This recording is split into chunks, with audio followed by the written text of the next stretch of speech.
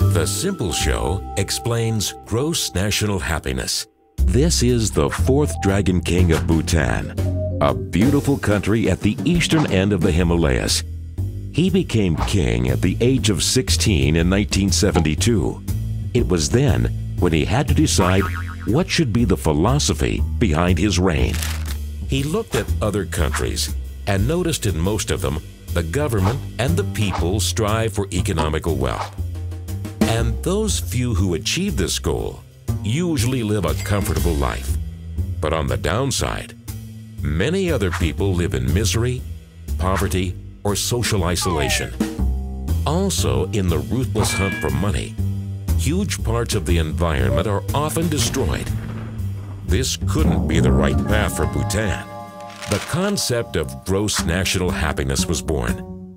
The primary idea of GNH is that every human being aspires for happiness, and a country's development should also be measured in its citizens' happiness.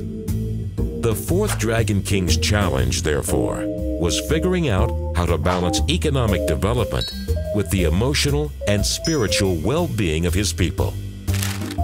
Although economical growth can't be the only goal, a flourishing economy gives the government the funds needed to provide a working health and educational system, as well as certain living standards.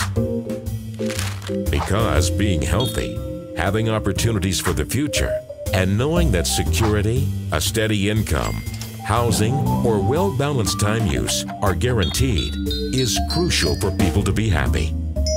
But furthermore, people get a lot of positive energy from being with others and sharing interests.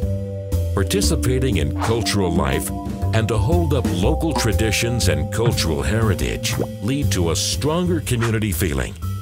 Healthy family relationships, advocating community activities, and religious aspects are factors for achieving happiness. It gives the Bhutanese people a strong sense of values and identity. The fourth Dragon King reigned 34 years basing his decisions on all factors of gross national happiness, asking himself, what makes Bhutan's people happy? And the fourth Dragon King lived by example, leading a very simple life.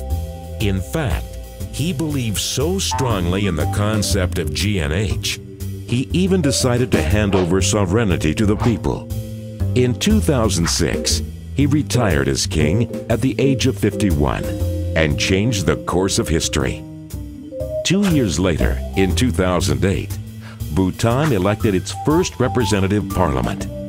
Since then, the idea of gross national happiness has taken quite some momentum outside of Bhutan, with other countries and people around the world thinking about adopting the GNH approach to strive for development with values and to make the world a happier place.